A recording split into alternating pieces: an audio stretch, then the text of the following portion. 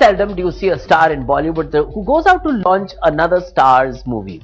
We're talking about Jolly LLB. Well, that of course is a brand new movie, and who better than Amitabh Bachchan to go out for its launch? Why? Because in the very distant past, very distant as of now, he had his own brush with the law, and he's talking about it. एक बार कई साल पहले देश में नहीं विदेश में अवसर मिला था जब बोफोर्स का इल्ज़ाम लगाया गया था मुझ पर और मेरे परिवार पर उस समय लंदन के रॉयल कोर्ट्स में हमने मुकदमा लड़ा था और उसमें विजय प्राप्त की वो शायद पहला अवसर था जब मैं एक कटघरे के अंदर गया That's Big B remembering his tryst with the legal system. And who better than Amitabh Bachchan to launch the first promo of Arshad Varsi and Baman Rani's Tara, Jolly LLB. क्या नाम क्या बताया आपने? जी जगदीश त्यागी जी। जॉली जॉली कहते हैं मुझे। हाँ कहाँ से एल की आपने? जी लॉ कॉलेज मेरे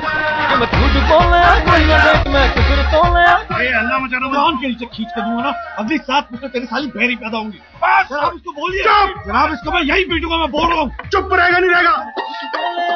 यस सर सारी इंग्लिश आ गई मुझे। आप दोनों शांत हो जाएँ तो बेहतर होगा। काफ़ी देर से मैं आप दोनों की बहस सुन रहा हूँ पीछे खड़ा हुआ। और सोच रहा था कि कब आऊँ और एक कबाब में हड्डी बन जाऊँ। And he's thankful that his experience with the law has so far been pretty positive, without any sour memories. ईश्वर की कृपा रही अभी ये शुभ अवसर आया नहीं मेरे जीवन में। लेकिन सुनता रहता हूँ और आप लोगों के ज़रिए अखबारों वगैरह में देखता रहता हूँ पढ़ता रहता हूँ। कभी ऐसा मौका मिला नहीं। लेकिन यदि कभी मौका मिला तो मैं इतना केवल कहना चाहूँगा कि सच्चाई का सामना करूँगा But Amitabh surely knows how to cheer up when he's facing problems.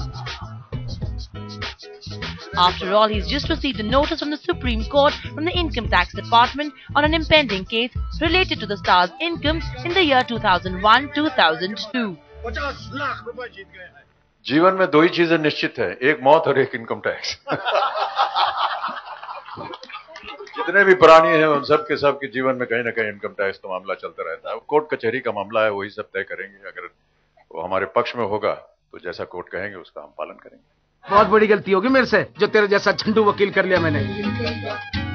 The fact that Jolly LLB happens to be a slice of life film dealing with the legal system of the country makes Amitabh the perfect ambassador for the film.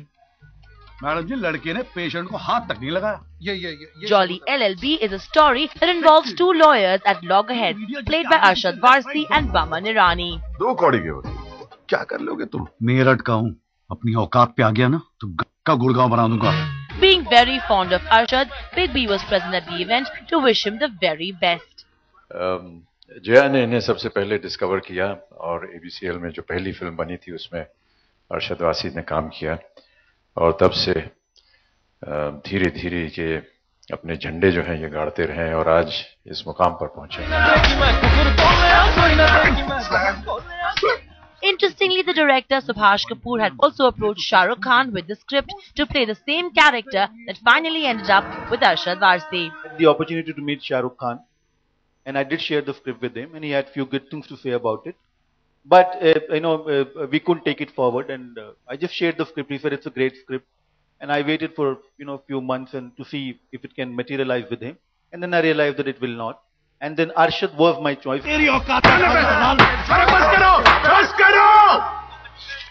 While that does not seem to bother Arshad much, fans may have missed out watching SRK put on the black cloak for once. Court room में घुसे ना तो हल्ला मचाना चाहिए बड़े बड़े court room बड़े बड़े जजेस ये चाहिए मुझे यार सची आपका गोला With Noyan Jyoti Prasara in Mumbai, Diksha Nijhavan, Headlines Today.